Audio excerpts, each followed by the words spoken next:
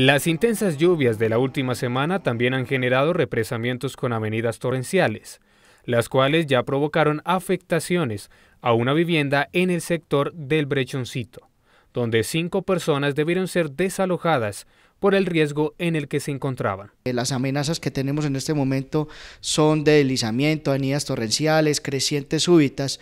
Entonces es importante que nuestra comunidad empiece como a identificar sus eh, riesgo que en este momento se presenta en cada vereda o en cada barrio en específico y empecemos a tomar las medidas pertinentes. Las alertas tempranas pueden mantenerse por parte de los mismos pobladores que habitan zonas de riesgo como las riberas de ríos y quebradas incluso aquellos lugares geográficamente inestables del área rural y urbana. Entre ellas es hacer monitoreo constante en los ríos y quebradas o afluentes de nuestro municipio, no arrojar basuras en las mismas, mantener siempre las redes de alcantarillado limpias.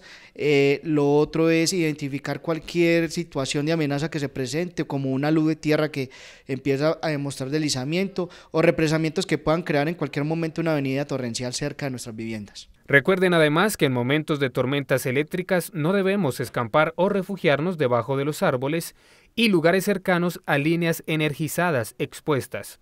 Y en el caso de los transportadores, revisar bien sus vehículos antes de viajar, tener un botiquín y conducir con prudencia en zonas de mayor vulnerabilidad.